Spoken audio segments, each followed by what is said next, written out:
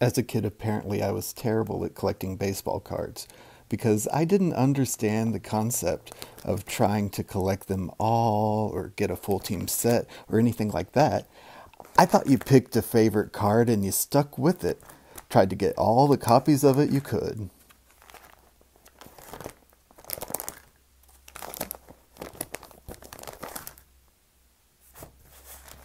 As a kid, apparently, I was terrible at collecting baseball cards because I didn't understand the concept of trying to collect them all or get a full team set or anything like that.